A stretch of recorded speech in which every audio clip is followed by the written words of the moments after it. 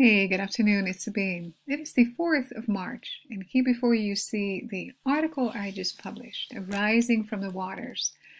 Speaking of the beloved, the first fruits of the Lord, his first harvest.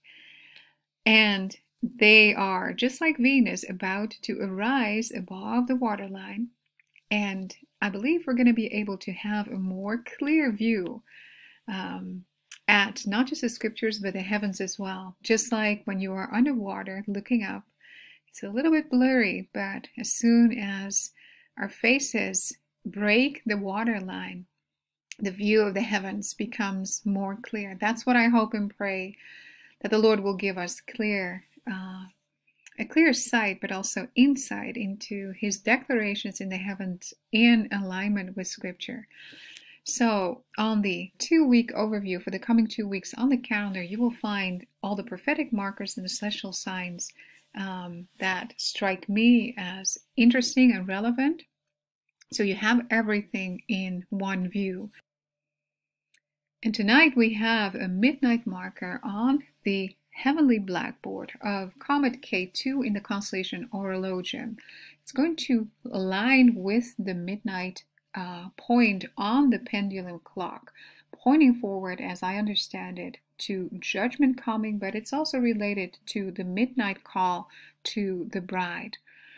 And then from tomorrow onward, the E3 comet, which we have been following for quite some time, is going to be visible at the ninth hour position as seen from the belt stars of Orion and the central or the brightest star Alnitak in the belt, which is a reflection of the Ephesians 6 armor, it's also the celestial mirror of the Giza plateau. And we know that the Khufu pyramid is the central pyramid with, with regard to it being the standard of measurement, but it's also a it also functioned as an astronomical clock so from that center point of the belt stars of Orion, E3 is going to be aligned with uh, the belt stars from the 4th until the 8th. And that's going to be the ninth hour marker, counting from sunrise at about 6, just after 6.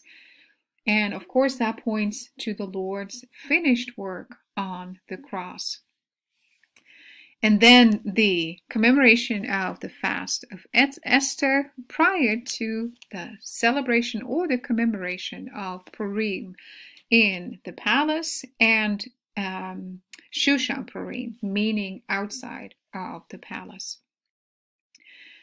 So, as mentioned, all the references in the text um, are found on the calendar in addition to the symbol, so you can easily find what you read in the text on the calendar. So, of course, after the beautiful heavenly kiss of Venus and Jupiter, their story is not ending, it is continuing. And the overcoming bride, the first fruits of the Lord, are going to arise out of the water. There's going to be a cutting of ribbons of uh, the horizontal fish first and then of the vertical fish before Venus enters into the throne room, which is going to have a beautiful meaning for the Lord's overcoming believers. For the entry into the throne room of the beloved synchronizes with the rapture scene in Revelation 4 1, where John, also a type of the beloved apostle, the beloved disciple, enters into the throne room, falls face down at the onlook of the Lord, with hair as white as wool, just like the lamb in the constellation of Aries. Purim itself on the calendar serves as an early Passover. In this case, it was for the exiled in Babylon. So the uh, connection to Esther as a type of over of the overcoming bride, the intercession she did on behalf of her people, but also to strengthen her king as a co-ruler, respectful of his laws, but but abiding by the laws of God. Um, there is a lot to glean and to learn from this beautiful story, and this is what I've written about it. I believe this was last year. And um, Purim, uh, currently, if you look at how that is celebrated in the state of Israel, there is a lot of drunkenness and carousing, which could be referred to in Luke 21:34, and Jesus warned us about not to be uh, connected to, um, tied to the world and to this type of uh, idolatry and lascivious celebration. So this could be the feast that is going to be turned into mourning. The heavenly declarations. First, the E3 comet. It's writing on the heavenly blackboard. It will align with Orion's belt stars at the ninth hour position from March 4 to 8. So that covers the time frame of Purim. Our attention being directed to the Lord's finished work on the cross, but also of darkness falling between noon and three. So the Lord's arrival amidst darkness is what I believe the picture is we are to be mindful of. And um, there is a lot of information about what the meaning is of the constellation. Orion, the Son of Man, coming in his left hand, he holds the remains of the enemy. And he presents that to the congregated believers in the seven churches in the constellation Taurus as a sign of him overcoming the enemy on our behalf. Underneath his feet is the serpent, and out of his belt stars flows the river of the judge, the river of the ruler. And that's what the comet is going to um, be positioned in. So it has entered into the constellation of Eridanus and it's going to align with Orion's belt stars. There was a beautiful prophetic word from uh, our sister Mandy Ralph. The Lord speaking and emphasizing Purim, but also saying to us through her that He is coming at the ninth hour. So, this is an interesting and I believe um, also an important ninth hour marker in the heavens. Then the comet will align with Eridanus, which is the fiery river of judgment. And that is going to take place on March 11th exactly. So it's going to cross that asterism line of the fiery river in the heavens. Here you can read where you can find the references in scripture to this fiery river and it uh, speaks of the Lord overcoming his enemies. E3 will then line up with the great Orion Nebula, the sword of truth, which is underneath the belt stars.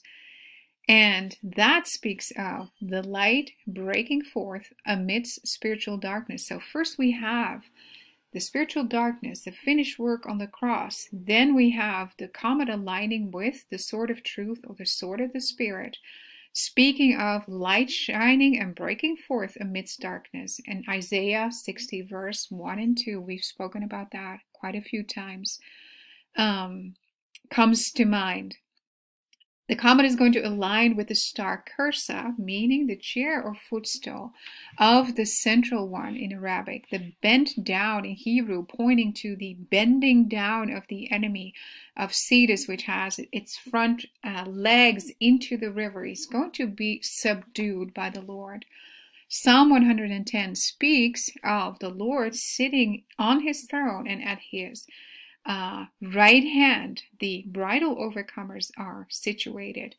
And he is speaking to them that he is going to make thine enemies, our enemies, his footstool. So that is a very promising scripture. The Orion Nebula presenting us with the light of the world. So here we have the constellation Orion with the remains of the enemy in his left hand. He has overcome.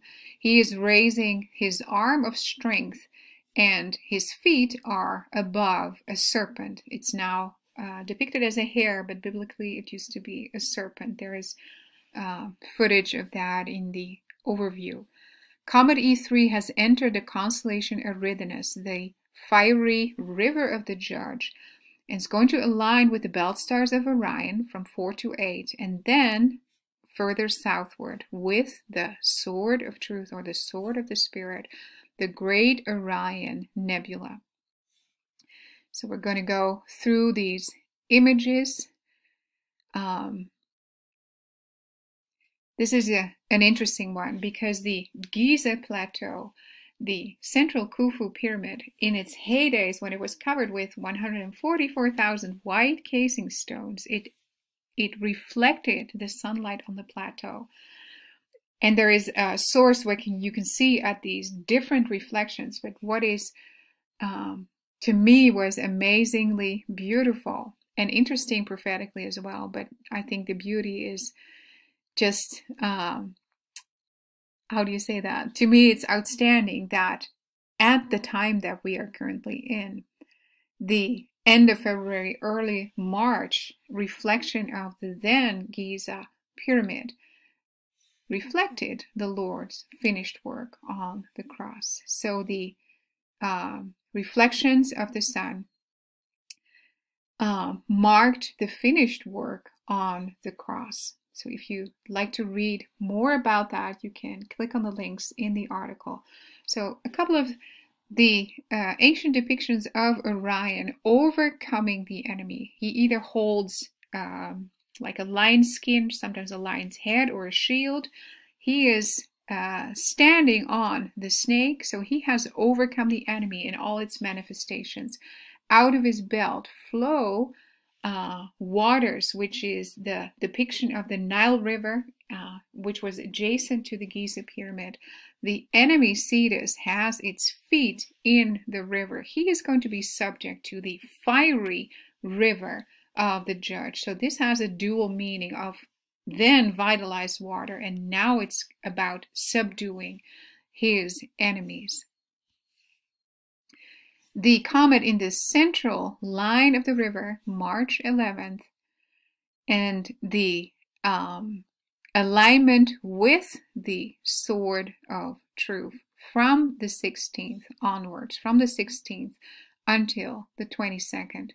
And right in between the Comet E3 and the uh, Great Orion Nebula is the star Cursa, where the river is bent and in Arabic this was the chair and footstool of the Great One. So hence the reference to uh, Psalm uh, 110 where the Lord spoke of him making our enemies his footstool. Then the alignment today of Venus with the door star of Pisces, Delta Piscium, the door of the horizontal fish and what the meaning is toward us. The midnight marker of Comet K2 Pan-STARRS uh, tonight and tomorrow in the constellation Horologium. We're going to see the visuals a little bit later. I expect waves to start rising um, as soon as Triton, one of the moons of Neptune, and Neptune itself enters into the constellation Pisces, the association with the trident and the first beast from the sea, I believe to be Barack Obama. But also uh, remember that the nation of Ukraine and the conflict in the, in the Ukraine is described in the passage in scripture about the valley of Jehoshaphat, that the Lord is pulling all these nations toward. That is also associated with a yellow or a golden trident. Jupiter um, is going to align with the door star in Pisces on March the 6th.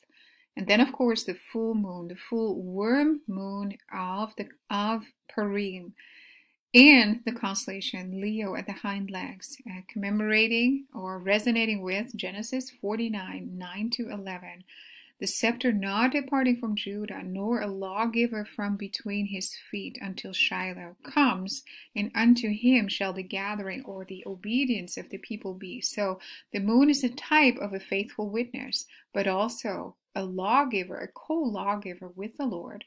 And her fullness is going to be at the hind legs, so she is still in between the feet of Leo. Then she will approach the Alpha Omega point on the ecliptic underneath the constellation where the man child is hidden in Coma Berenices. Leo is the final chapter on the ecliptic, and in Virgo, a new one commences. And then there is a beautiful hidden meaning of the Tola worm connected to this full moon, the full worm moon of self sacrifice um, and Jesus comparing himself to this tola worm, dying on a tree on our behalf, bringing forth crimson red blood, and then it becoming white as snow.